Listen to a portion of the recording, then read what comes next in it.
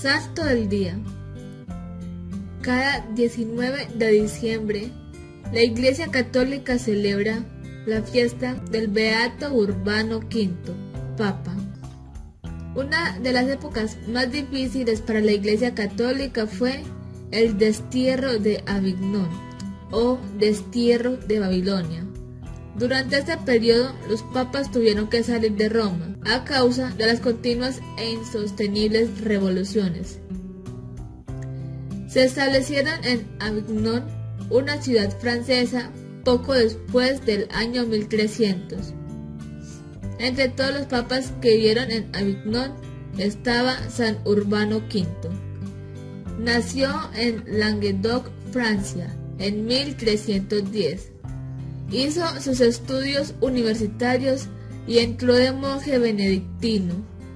Fue superior de los principales conventos de su comunidad y como tenía especiales cualidades para la diplomacia. Los sumos pontífices que vivieron en Avignon lo emplearon como nuncio o embajador.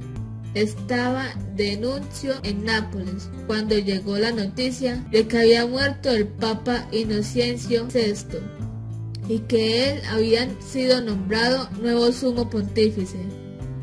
No era ni obispo, menos cardenal.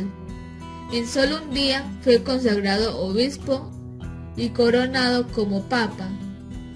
Como sumo pontífice se propuso acabar con los abusos que existían. Quitó los lujos de su palacio y de sus colaboradores.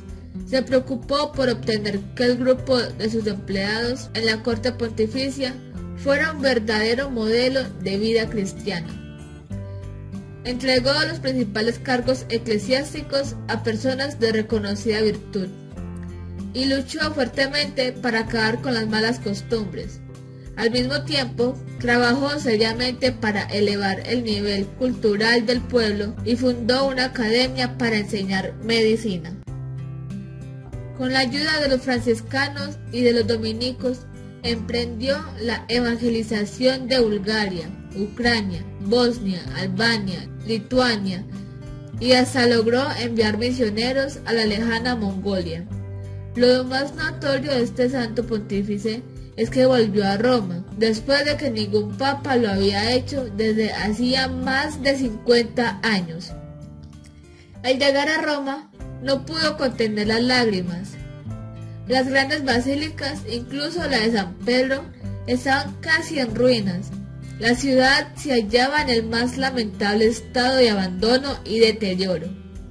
Urbano V con sus grandes cualidades de organizador, emprendió la empresa de reconstruir los monumentos y edificios religiosos de Roma. Estableció su residencia en el Vaticano, donde hasta hoy viven los pontífices. También se dedicó a restablecer el orden en el clero y el pueblo. Pero las revoluciones se dieron nuevamente y Urbano, que se encontraba bastante enfermo, dispuso irse otra vez a Francia en 1370. Santa Brígida le anunció que si abandonaba Roma moriría. El 5 de diciembre salió de Roma y el 19 de diciembre murió. Aprendamos pues de este sumo pontífice a ser unas personas llenas de virtud, que en nosotros se refleje el verdadero modelo de una vida cristiana, de una buena vida católica, que seamos una buena imitación de Cristo.